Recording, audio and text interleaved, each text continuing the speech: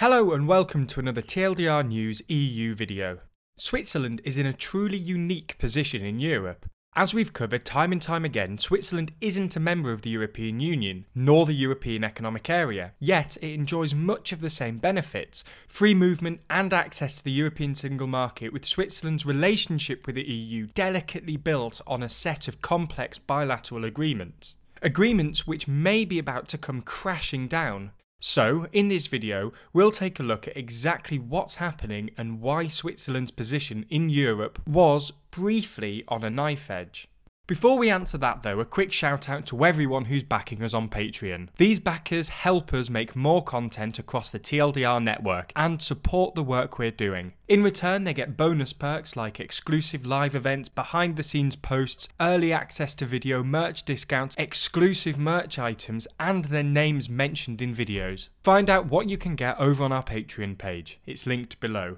Okay, so back to the video. This all boils down to freedom of movement. While Switzerland is not a member of the European Union, on the 21st of June 1999, the EU and Switzerland signed the Agreement on the Free Movement of Persons, or AFMP, AFMP lifted restrictions on EU citizens wishing to live or work in Switzerland, and vice versa. With the mutual recognition of professional qualifications and the coordination of social insurance systems, truly giving Swiss nationals and EU nationals alike the right and ability to live and work where they choose to in the EU. So far, so good. The issue being that recently the issue of free movement has come to the fore of discussion.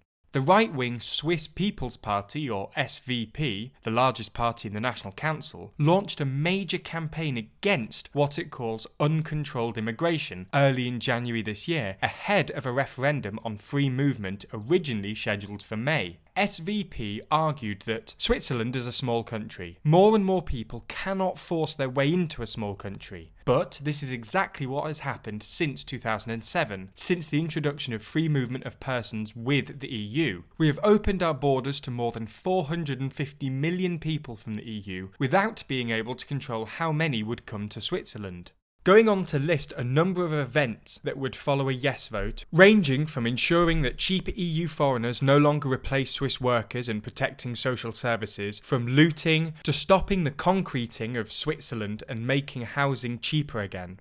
At the time, polling was strongly against the proposal. A Tamedia online survey of 11,000 people across Switzerland found that 58% were against the idea. Just 35% approved, and 7% had no opinion. More recently, polling indicated that the opposition has risen further, with 65% of Swiss voters opposed to the initiative. Given the pandemic, the referendum invariably couldn't be held on the original schedule and was pushed back. And so, on Sunday, the 27th of September, the Swiss electorate finally voted on the popular initiative entitled For Moderate Immigration, in brackets, Limited Initiative. The initiative aimed to end the free movement of persons with the EU, with a positive vote forcing the Swiss Federal Council to negotiate termination of the agreement on the free movements of persons within 12 months. And if negotiations were to fail, the Federal Council would be required to unilaterally terminate the agreement within further 30 days. The initiative would have also explicitly prohibited Switzerland from entering into any new international agreement or obligations that would grant freedom of movement to foreign citizens.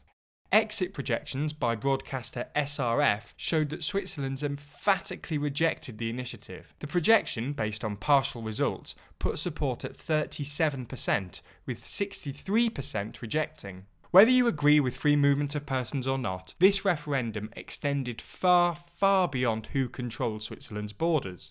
The issue being just how complex and unique Switzerland's position in the EU is. Freedom of movement is a cornerstone of Swiss society. When Switzerland signed the agreement on the free movement of persons, it did so as a package of agreements known as Bilaterals 1, which included the likes of agreements on civil aviation, public prosecution, and barriers to trade. Bilaterals 1 was negotiated with the EU on the condition that negotiations were conducted in parallel and that agreements be signed and take effect together. This parallelism of negotiations was driven by the view on the EU side that the different and distinct agreements would only be in the best interest of both partners if they were adopted together. In turn, a guillotine clause was included in the package, explicitly stating that either all agreements apply or none do.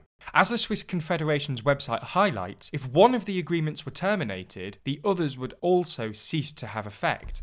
The EU could also then decide to cancel any of the other bilateral treaties and agreements relating to the likes of Schengen, Dublin, or Erasmus.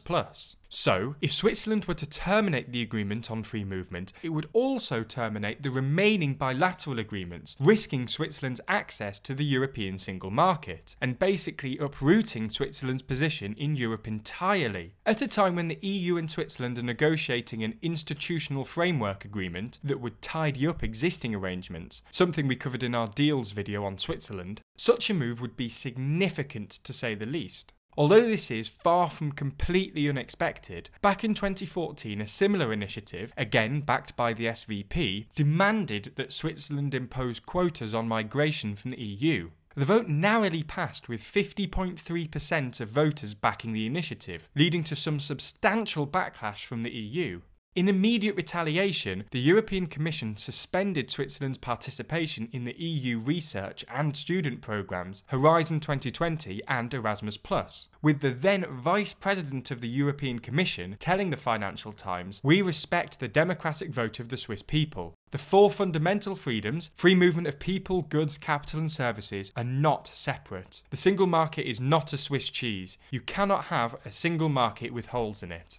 All in all, this led to a scramble between the EU and Switzerland to find a way through the crisis, and to ensure that the popular vote was respected, but that free movement continued. In the end, the Swiss parliament adopted a bill giving priority to Swiss job seekers, but avoided full on quotas, setting the stage for the SVP's support and backing of this more explicit vote, which condemned the compromise as a betrayal and capitulated by the EU. Switzerland's Justice Minister was quick to highlight just how uprooting a vote to abandon free movement would have been, stating that it would create a situation worse than Brexit. Following the result, Ursula von der Leyen, President of the European Commission, was quick to publish a statement highlighting the gravity of the situation.